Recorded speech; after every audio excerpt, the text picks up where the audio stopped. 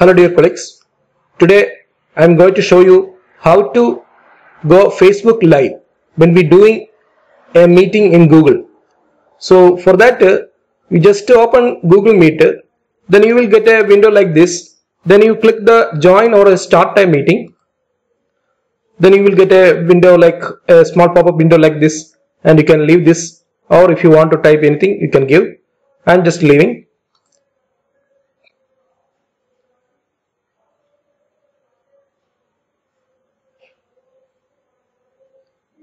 Okay, now the Google Meet window is ready. Go to facebook.com slash live slash create. So these things you have to type in Google Chrome taskbar and uh, thereafter you just go to create live stream. So once you opened your Facebook account then your account will become here and uh, you can enter to your account for live streaming. So click the create live stream here. Once you click the create live stream, you will get a window like this. Here, what the things you have to do? You just click use camera. Okay. Now you can see you in in this camera. Okay then you just uh, click the stream options under settings. And uh, you can click this unpublish after live video ends. You click here. If you want to make unpublish your meeting after finishing your meeting you can click here. Otherwise you can leave that. Now I am going to click here.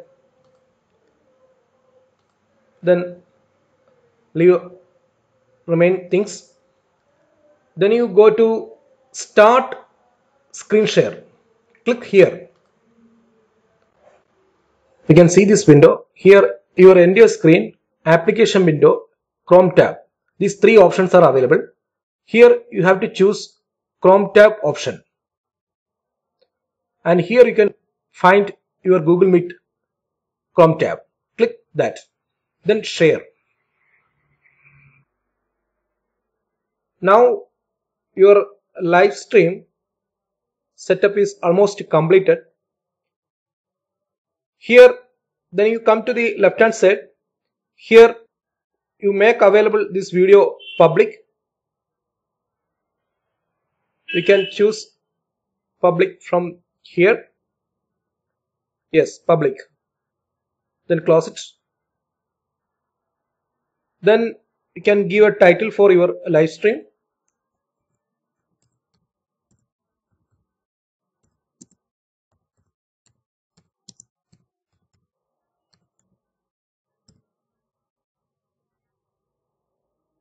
if you want to any small discussion note you can give here. Then you go live.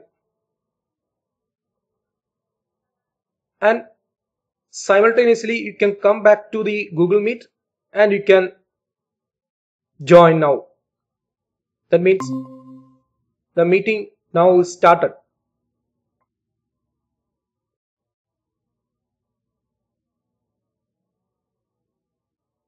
so you are in meeting. And uh, you can take your facebook account. Then you go to your timeline.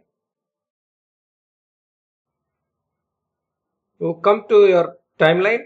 And now you can see that uh, you are in live. Okay? So it's very simple. We can try it. Thank you